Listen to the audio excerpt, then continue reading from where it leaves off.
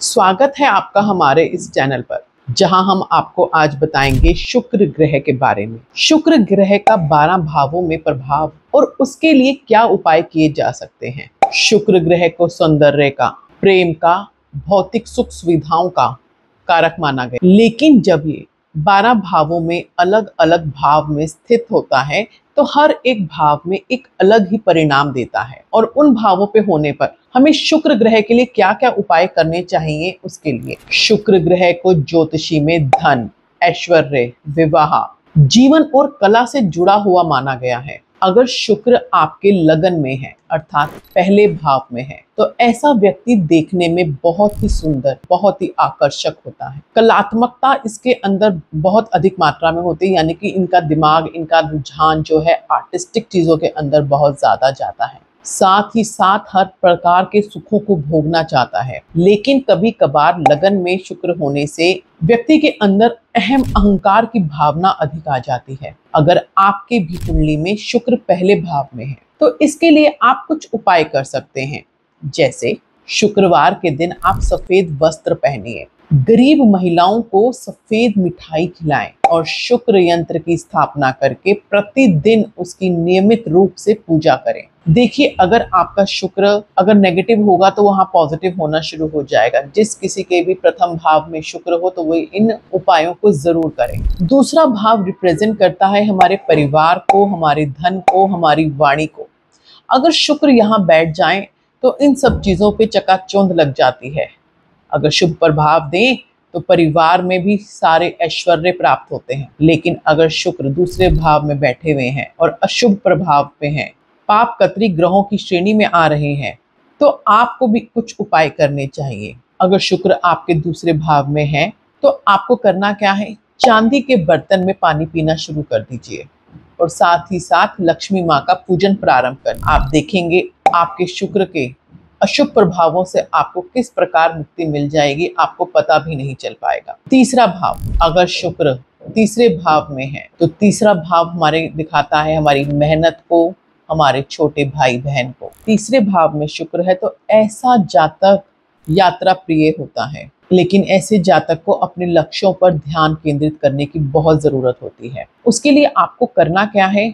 आपको करना है। शुक्रवार के दिन खुशबू वाले सुगंधित फूलों का दान करें। गाय को हरी घास खिलाएँ और खुद मीठा और सफ़ेद भोजन का सेवन करें। चौथा भाव, शुक्र अगर आपके चौथे भाव में है, चौथा भाव सुख सुविधाओं को दिखाता है। यहाँ पर शुक्र अगर बैठता है और अपने शुभ प्रभावों को दिखाता है तो आपके घर में सभी सुख सुविधाओं के साधन होंगे। उन सुख सुविधाओं को आप भोगेंगे, लेकिन अगर अशुभ प्रभाव में है तो आप उन सब चीज़ों से वंचित हो जाएँगे, जिन चीज़ों से आपको सुखों की अनुभूति होती है। अगर ऐसा है, चौथे भाव में शुक्र है तो आपको करना क्या है? आप अपने ही घर में सफ़ेद रंगों के फूलों को उगाएँ, सफ़ेद रंग की गाय की सेवा करें। हो सके तो चांदी का कड़ा पहने। शुक्र पांचवे भाव। पांचवे भाव से हम शिक्षा को देखते हैं, प्रेम प्रसंग को देखते हैं। अगर शुक्र यहाँ बैठा है तो आपका प्रेम विवाह हो सकता है। आप ऐसे लोग कला और प्रेम के प्रति बहुत ही आकर्षित होते हैं। प्रेम विवाह का प्रसंग भी बन सकता है, अगर शुक्र आपके पाँचवें भाव में बैठे हैं। तो आपको करना क्या है? शुक्रवार के दिन आप व्रत करें। सफ़ेद चंदन का तिलक लगाएँ। गरीब लड़कियों को सफ़ेद मिठाई और वस्त्र का दान दें। अगर शुक्र छठे भाव में बैठे हुए हैं तो यहाँ पर आपको शुक्र के कुछ नेगेटिव प्रभाव देखने को मिल सकते हैं, क्योंकि ये रोगों का भाव है। शुक्र जो है हमारी सेक्सुअल लाइफ को दिखाते हैं और छठा भाव हमारे रोग के भावों को दिखाता है। तो हो सकता है कि यहाँ पर अगर शुक्र बैठे और आपको इस तरह की कोई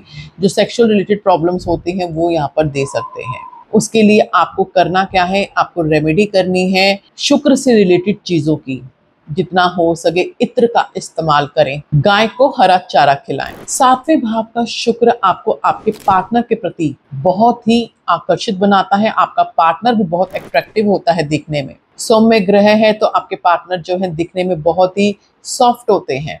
सेवेंथ हाउस में अगर वीनस है तो आप अपने विवाहिक जीवन का सुखमय तरीके से आनंद लेते हैं। सातवें भाव में अगर शुक्र है तो शुक्र से रिलेटेड सभी चीज़ों का, जो अभी तक मैंने आपको बताई हैं, इसमें से कोई भी आप एक रेमेडी कर सकते हैं। अपने घर में सुगंधित फूल उगा सकते हैं, सफ़ेद मिठाई खाएँ और सफ़ेद चीज़ों का उपयोग करें।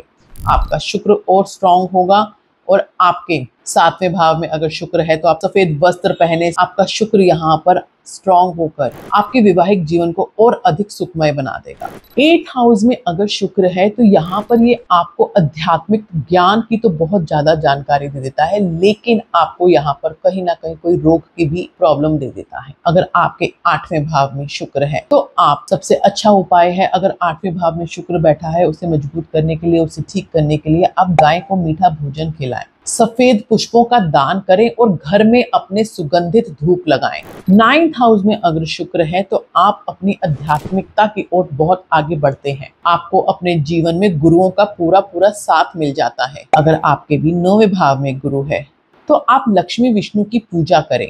शुक्रवार के दिन ब्राह्मणों को सफ़ेद रंग की मिठाई ज़रूर ज़रूर दान में दें। इससे आपके आध्यात्मिक रास्ते और अधिक खुलेंगे। और आपके जीवन में सुख और शांति बहुत अच्छे से आए। दसवें भाव में शुक्र है तो यह आपको समाज में उच्च पदों तक पहुँचा देता है। दसवें भाव में अगर शुक्र है तो आपके करियर के लिए जो बहुत अच्छी लाइन रहती है, वो फ़ैशन से रिलेटेड लाइनें रहती हैं। ऐसे लोग फ़ैशन कला से रिलेटेड कोई भी बिज़नेस कर सकते हैं और ऐसी जॉब कर सकते हैं जो कि इन व्यवसायों से जुड़ी हो।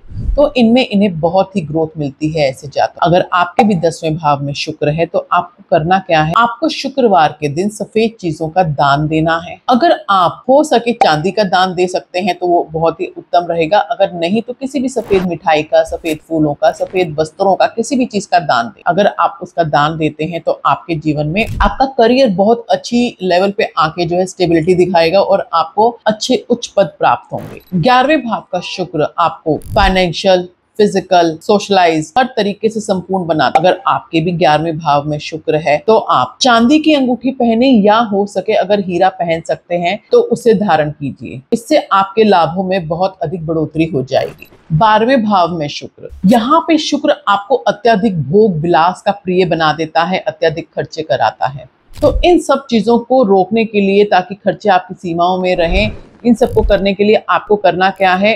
अपने सामर्थ्य के अनुसार शुक्रवार से रिलेटेड चीज़ों का दान दें। और हो सके तो शुक्रवार के दिन भगवान शिव की पूजा ज़रूर करें। शुक्र ग्रह हमारे जीवन में विभिन्न पहलुओं पर गहरा प्रभाव डालता है। चाहे वो प्रेम हो, धन हो, करियर हो, शुक्र का हर प्रभाव में, हर भाव में अपना अलग ही एक प्रभाव है। अगर शुक्र आपका नकारात्मक है तो इन उपायों को अपनाकर आप अपने शुक्र को सकारात्मक बना सकते हैं और जीवन के विभिन्न पहलुओं पर सफलता हासिल कर अगर हमारी आज की वीडियो आपको उपयोगी लगी हो तो इसे लाइक और सब्सक्राइब ज़रूर कीजिएगा। कमेंट बॉक्स में हमें ज़रूर बताइएगा कि आपकी कुंडली में शुक्र कौन से भाव में स्थित है और आपने उसके लिए कौन सा उपाय अपनाया है और उस उपाय से आपको कितना फ़र्क पड़ा।